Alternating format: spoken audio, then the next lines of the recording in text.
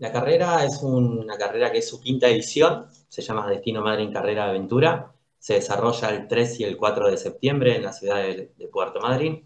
La carrera se desarrolla en sí en la estancia San Guillermo, que queda a 15 kilómetros de, la ciudad.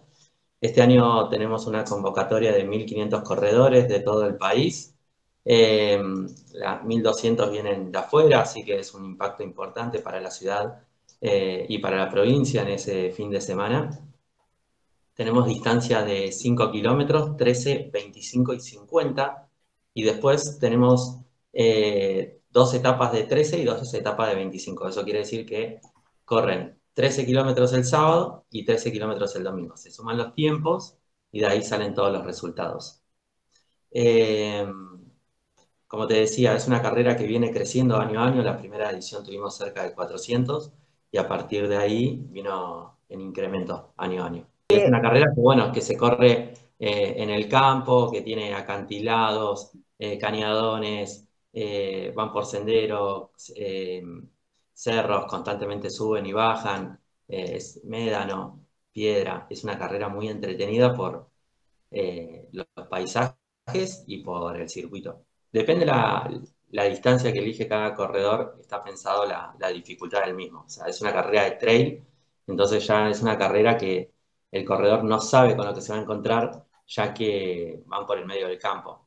Eh, nosotros generalmente solamente mostramos algunas fotos, algún videíto eh, previo a la carrera, eh, para no dar detalles de los circuitos, para que tampoco tengan ventaja la gente de acá. Además, corremos por campos privados y es una forma también de, de cuidarlo.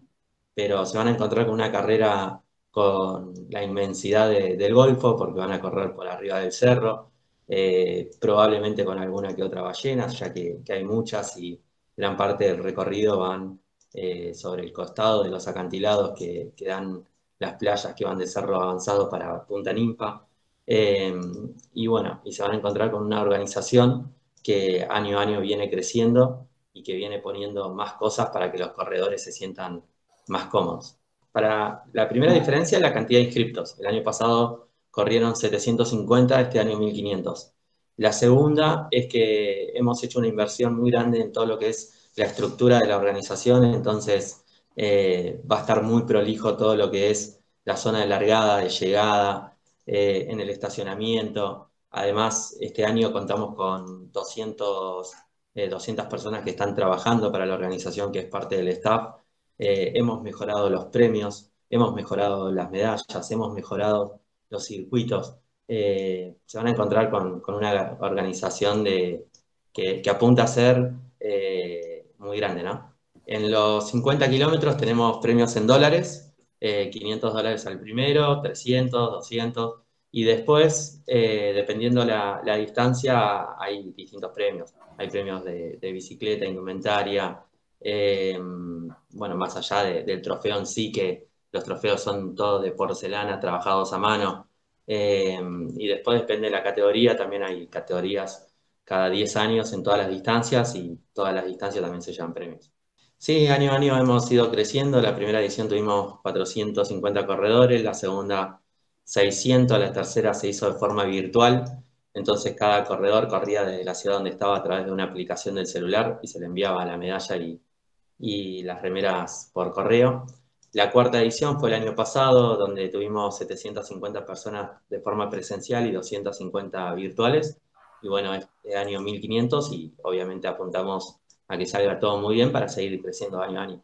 Eh, yo tengo un grupo de running team que se llama Maras y, desde el mismo grupo empezaron a empujar de, que hagamos una carrera. Bueno, en ese momento eh, se lo comenté a, a un amigo y había una persona más en el equipo. Y, bueno, decidimos apuntar a, hacer una carrera, pero que no sea una carrera que, quede en lo zonal, sino que se abra a otras provincias y, tratar de traer también corredores de, otros países.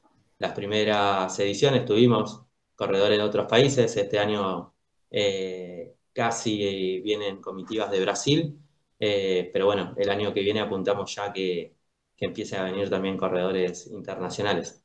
Eh, así que bueno, ese año trabajamos durante todo un año para la primera edición, o sea que esta es la quinta edición, pero que venimos trabajando en esto son seis años ya.